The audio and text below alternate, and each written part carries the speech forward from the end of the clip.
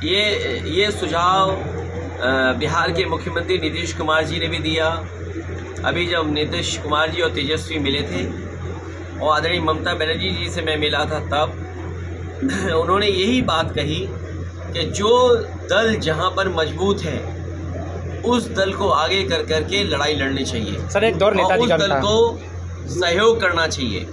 तो ये ज़िम्मेदारी और दलों की भी है कि जो दल जहाँ मज़बूत है उसकी मदद हो। ये पहली बार चुनाव लड़े समाजवादी पार्टी से और पहली बार ही ऐतिहासिक जीत हासिल की। और तब जीत हासिल की है जब भारतीय जनता पार्टी ने पूरे कन्नौज में नंगा नाच किया। ये शब्द का इस्तेमाल नहीं करना चाहिए मुझे। जितना नंगा नाच लोकतंत्र में हो सकता है, भारतीय जनता पार्टी ने यहाँ किया।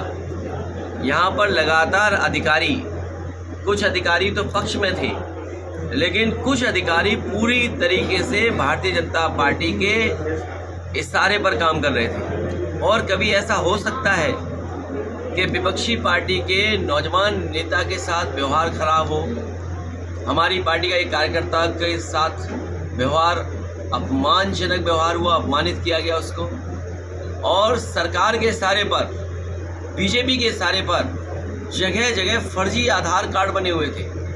आज के ज़माने में जहाँ पर बीजेपी की सरकार में लाखों करोड़ रुपए खर्च किए गए हों इस बात को लेकर के कि आधार नकली नहीं बन सकता।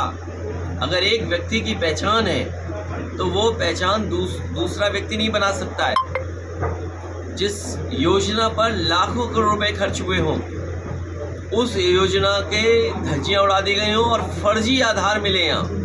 एक दो नहीं मिले हज़ारों की संख्या में। यहाँ की विधायक महिला होकर के जो व्यवहार करती है पुरुषों को भी शर्म मतलब क्या बोलूँ मैं? पुरुष भी शर्मिंदा हो जाएँगे। एक महिला विधायक बूथों में घुस जाए फर्जी वोट डाले छिवराओं में फर्जी वोट डाला। गुरसाईगंज में विधायिका और उसके सहयोगी समर्थक घुस गए और वोट डाला नकली। जब आधार नकली, वोट नकली तो इनकी जीत भी नकली है। इनकी असली जीत नहीं है। ये जनता की दिया हुआ फैसला नहीं है। ये बीजेपी के इशारे पर सरकारी लोगों ने जो जीत दिलाई है, वो नकली जीत है। धोखे वाली जीत है। समय में लोकतंत्र को बचाने के लिए तैयार रहना पड़ेगा। और आपने हमने वो तस्वीरें, वो व्हाट्सएप पे वीडियो न्यूज़ में वो वीडियो, हालाँकि हमारे बड़े बड़े चैनलों ने वो वीडियो कम दिखाया।